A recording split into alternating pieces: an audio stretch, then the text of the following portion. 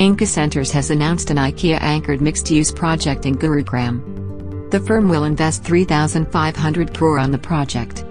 The construction of the mall will start in early 2022. The company expects the project to generate more than 2,500 jobs.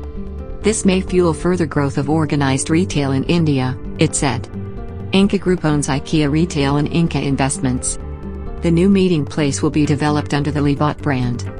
It will be a mix of hospitality, F&B, and edutainment space.